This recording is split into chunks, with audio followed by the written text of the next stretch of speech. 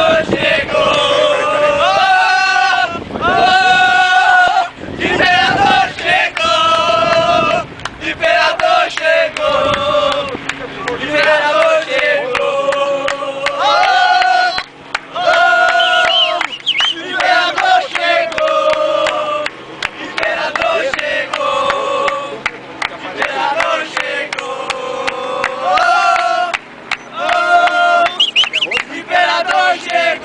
Então fala aí a expectativa pra ver o Adriano com a camisa do Timão. Ah, eu acho que a expectati- expectativa é boa, mas se ele continuar desse jeito aí, indo pra festa à noite, não dando valor, eu não acredito muito não.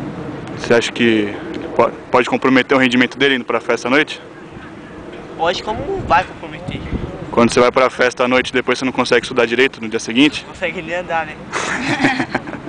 E você? Ah, O que eu tá acho- esperando do Adriano? Espero que ele não faça a mesma coisa do Ronaldo, broxou, né? Jogou só o, comecinho, mas depois arregou. Que nem eu não gostei muito não.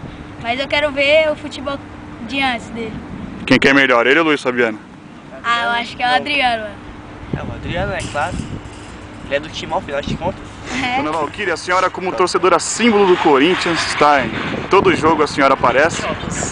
O que, que a senhora achou da contratação do atacante Adriano? Olha, já que assinou o contrato e contrataram, agora nós vamos ver o trabalho dele, né? Não tenho nada contra. A senhora acha que as baladas, que são típicas dele, podem atrapalhar, atrapalhar o rendimento em campo? Não, sobre balada, bebida, esse tipo de coisa aí, vamos esquecer, isso foram todos passados. Ele estava no Rio, agora está em São Paulo, agora a história é outra.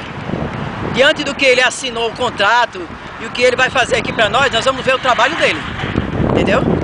E a senhora que com esse time que o Corinthians está agora, tem alguma chance no Campeonato Brasileiro, no Campeonato Paulista ou precisa de reforços? Olha, no momento nós precisamos de mais reforços. Não só Adriano, mas alguns nós precisamos.